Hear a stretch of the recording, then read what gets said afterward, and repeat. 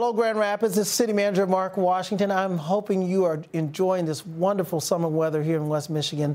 I know our uh, youth and students are have mixed emotions. They're happy to get back to some sense of normalcy going to school, but I'm sure they will uh, wish they could be out all day enjoying this wonderful weather. But um, I had a chance to meet some of them uh, this summer as we've hired almost 400 youth in our GRow 1000 program and had to be part of uh, many commencement uh, ceremonies with that summer youth employment program. Thank I want to thank all the youth, the parents, as well as our sponsors, as well as our partners who hired uh, our youth across this community. Job well done.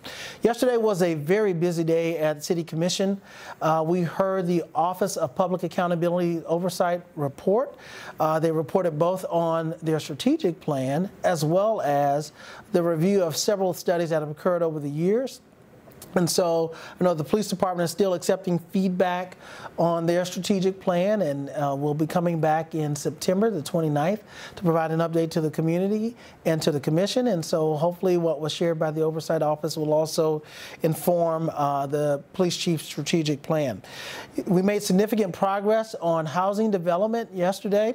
Uh, the Boston Square redevelopment project was approved. That will add almost 400 units of housing. There will be mixed income housing, but also also that would make mixed use in that development with lots of community benefits. And it is certainly a model project on how to create affordable housing, but also how to create um, good mixed use uh, projects and uh, wealth creation in terms of job creation and business development. And so I want to thank uh, the neighbors at Boston Square as well as Oakdale, uh, certainly our partner, development partner with Amplify GR, all the staff that contributed to it, the, the, obviously the, the support of the planning commissioners. This is a significant project and will serve as a model for many years to come here in the city of Grand Rapids. We also uh, approved additional acquisition and re disposition of land. Uh, in our agreement with the state land bank. As you know, we no longer have a Kent County uh, land bank, and so we have a partnership with agreement with the state to help us to make sure that uh, when there are properties that are foreclosed, that we can ensure that those foreclosed properties are redeveloped into affordable housing. And so uh, that agreement will allow us to uh, redevelop over 60 units, at least 60 units of, of, of affordable housing for people who wish to to own homes.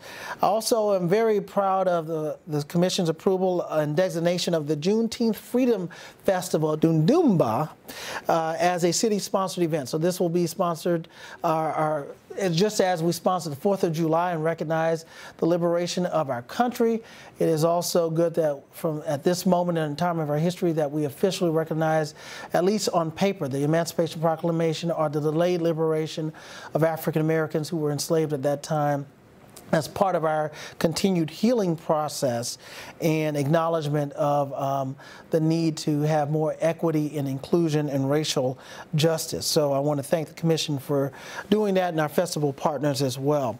Um, we also approved the position for the homeless coordinator. This is the first position we've had within City Hall that will focus full time on helping us, uh, making sure that we are responsive to the need of, needs of our homeless community, particularly during this vulnerable time during COVID, uh, where we know the infection rate, uh, they're among the vulnerable communities that, that are uh, susceptible to uh, having a high infection rate. And so we need someone full time to support them in making sure that we not only um, mitigate uh, opportunities for infections or reinfections, but also address the core issues of housing uh, during this important time, as well as all the mental health and behavioral health support that they may need.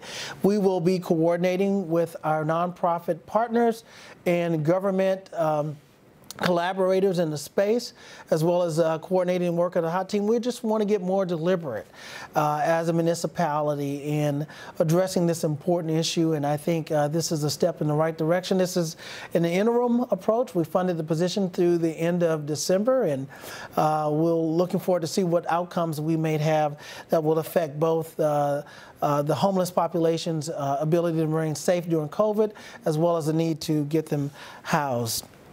Um, so proud of the efforts of our partnerships with Steepletown uh, as well as Next Steps in helping us to maintain the cleanliness and beautification of our city. We're going to double down on our efforts to uh, clean parks, alleys, um, the right-of-ways throughout the city. We've talked to the Rapid, MDOT, as well as uh, the Road Commission, Mobile GR, just the fact that there are more people that are outside now because of COVID and utilizing our open spaces and public right-of-ways.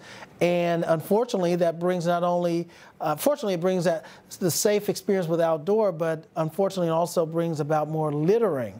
So we want everybody to make sure we keep our community sustainable, clean up after yourselves, but we know that it's not always the case, and so we're going to double down on our efforts uh, to make sure that we're keeping our city clean and beautiful.